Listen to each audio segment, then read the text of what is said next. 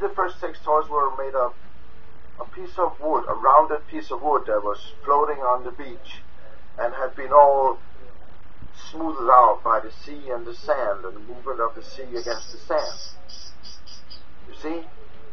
So maybe somebody already, I don't know, 150,000 years ago, a woman picked that up and her man was out hunting for the fifth day and she was feeling lonely and she wanted to satisfy herself and she thought it looked almost like her husband's dick.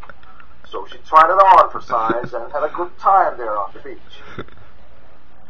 That's centuries, you fucking moron. Millennia, for fuck's sake. Get your facts straight. Do your fucking. Damn you, Vogter. Damn you. That's gonna be stuck in my head now for a while. oh my gosh. Just check out his whole video. It's down there.